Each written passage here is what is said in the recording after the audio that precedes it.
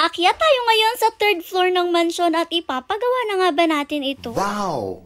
Dahil nga nagustuhan nyo yung ibang mga videos natin tungkol kay Inay, meron pa nga tayong mga natatagong videos dito. Siyempre, dahil nga ito ang first time ni Inay na makarating nga dito sa ating mansion, itutur-tur na rin nga natin siya. Gina Giri naman si Inay kahit nga medyo hirap na siyang umakyat-akyat ng hagdan at ito talagang pumunta pa sila dito sa third floor. Sabi ko nga, ito siguro yung hindi alam ng ilan sa inyo na meron pa nga tayo guys na third floor ng mansion pero tiwangwang lang siya at hindi na natin naipatapos. Pag-akyat nga nila dito, ito yung bumungad sa kanila. O, ba medyo hindi talaga malinis, guys. Since hindi naman talaga kami masyado nakakaakyat dito. Dito na rin nga talaga napatambak yung mga ilang nasirang electric fan ng pack members since alam naman natin na bago nga sila mag-switch sa aircon, ay talaga naka-electric fan lang sila sa kubo noon. Tapos, ito rin nga yung mga electric fan na ginagamit nila. Kaya kita nyo, mabababa sila kasi saktong-sakto lang para sa ating pack members. Kinuha nga sila ni tita, tapos itinambat nga dyan kay inay para naka-electric fan daw si inay. O, ba siya? Sala. Pero presko presko naman yung hangin guys dito sa third floor. Sobrang lakas rin talaga ng hangin dito. Mula rin nga dito nakikita nyo yung ating naglalakihang solar panels at yan po ay solar panels ng ating solar powered na air conditioner. Yes guys, dahil dalawa nga po ang aircon sa mansion, yung isa ay solar powered at yung isa naman po ay electricity na.